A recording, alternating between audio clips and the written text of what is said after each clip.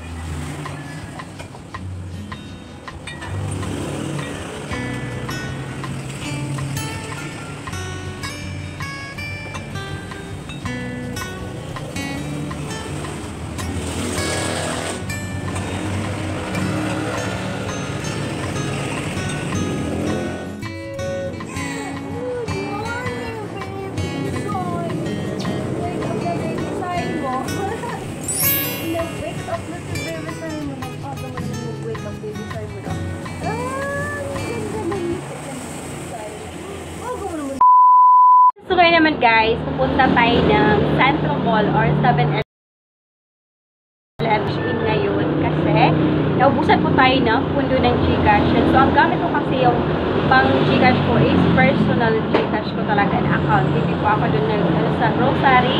Yan. So personal po talaga guys. Doon po ako nag pa, pa Gcash, cash in at cash.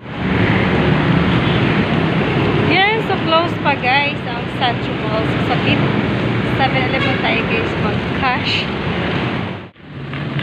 Magkano isang bote mantika? Yan, so guys, price update po tayo guys. Yan, so 330 po ato ate. 330 po yung isang bundle na mantika. Yan, so sa large na egg, Butan po. 210 ang large. Ah, ganun pa rin no, 180 ang small. Guys, so price update eh guys. So, lamang talaga guys, pag gumising po tayo ng maaga, lalong-lalo na pag meron tayong uh, sari-sari store business. So, pag maaga tayong gising, so maaga din po tayo magkakaroon ng Benamano. Yan. So, yun din po yung kagandahan guys. Pag maaga ka gumising kasi ah, yung yung iba pag hindi pa bukas, so sa iyo po bumili, lalo-lalo na pag meron ka mga ah, kasama din sa lugar mo ng mga sari-sari store. Yan. So, mas lamang talaga pag gumising ka ng maaga. Kasi marami kang magagawa sa tindahan mo at sa mga, yan, pag maglalaba ka, yan. So, marami kang magagawa. Mamalengke, yan. So, pagkatapos mo na yan lahat, so, paisig-isig ka na lang, dyan ka na sa tindahan mo at magtitinda, yan. So, nakapag-alata guys, maaga tayo nakapag-mano, ah, nakapaglaban na tayo, yan. So, nakapamaling na rin po tayo at nakapag-gcash na rin po tayo, yan. So, diba, mas naman talaga pag gumising po tayo ng maaga, lalo-lalo na pag meron po tayo ah, sari-sari store business. Kasi pag sari-sari store ang iyong mga paninda, so basically, is ng mga kapitbahay ng mga tao, so sa iyo po sila, pupunta maaga pa lang, nakapila na yan. Yan. So, meron akong ah, good news. Yes, meron akong good news guys sa pag ano ng pag-cash in, Gcash cash in. Kasi kanina ng Gcash offline ang 7-Eleven, offline ang Central Mall. Yes, so sa BPI. Yan, so depende po ako dyan sa Palawan. Yan, so buti na lang, ah, hindi offline yung Palawan. So dun po kasi ako nagka-cash in. Pag ah, konti na lang laman ng aking Gcash. Kasi hindi po ako pwede na mawalang laman ng aking Gcash dito. Kasi araw-araw po yata meron dito nag ah, ka-cash in. Yan, so kadalasan po talaga is cash in. So, ang ginawa ni Palawan, yan, so pinag-download ako ng, ano, pinag-download ako ng Palawan Pay, yan, so, maganda daw yung Palawan Pay, yan, so ito guys, yan, so Palawan Pay, yan, so ito guys, yan, so Palawan Pay, yan, so, pinag-download ko ako ni uh, Palawan, yan, so kasi pag Palawan ako, pag ah, 1% lang, yan, so, Di ba po pag ano 8 uh, ah, pag sa GCash 8,000 ang limit natin sa 1 talaga sa isang buwan. And then sa Palawan Bay naman, ang limit doon is 10,000. At kung lumag lumagpas ka na po doon, ang charge lang po doon is 1%. Kumbaga, alahati sa Gcash. Kasi sa Gcash po is 2% ang charge. Yan. So, pag mag-transfer ka naman, uh, ang charge lang po is 10 pesos.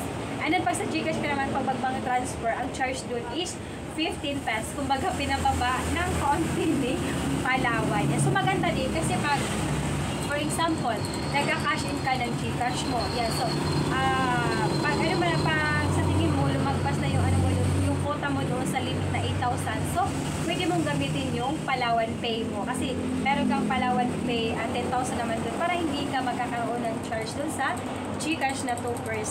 Yan. So, maganda guys, pag meron kayong Gcash, pag ah, business talaga, for business talaga yung inyong Gcash, and then pag kadala, malimit kayo mag-cash in sa mga 7-Eleven, Palawan, yan. So, pag lumagpas na kayo ng 8K, meron na yung charge na ng 2%. So, ang ano ko sa inyo guys, yan. So, mag-download po kayo ng Palawan Pay. Yan. So, pwede nyo pong, ano yan, pwede nyo pong, ah, pwede po kayo mag-cash in sa Palawan.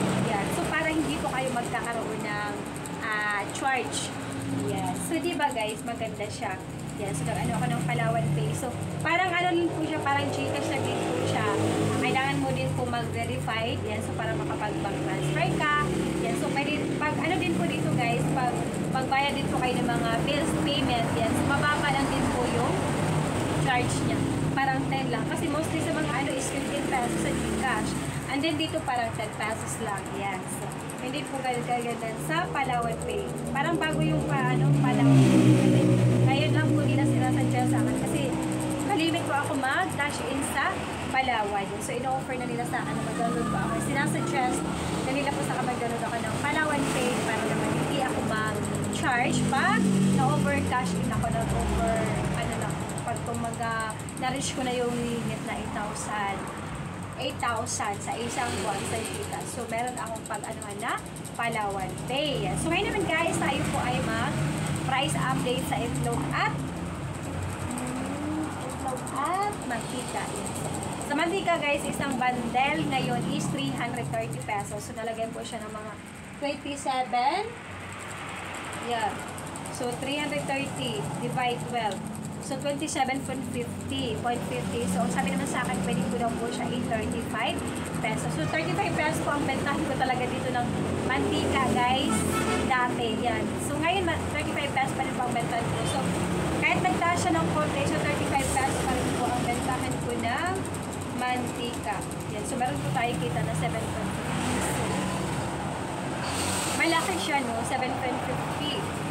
Yan. So, pwede ko siyang ibenta ng mga 33 pesos. Yan. So, mantika ko is 33 pesos. And then, yung itlog ko naman, ah, pag yung binili ko is isang tray, ah, medium size, ano lang po siya guys, 200 pesos. Pag large naman, 210. Pag extra large, 220. Pag extra large kasi 220, ang bentan ko po nun is 9 pesos. Yan. So, meron pa, ang kinuha ko po is medium. Yeah, yung si pinakailalim kasi pinakaibabaw extra large yan. So, medium so bentan ko naman is 8 pesos. Yes. So, yun naman po guys, ang aking vlog for today. Thank you for watching.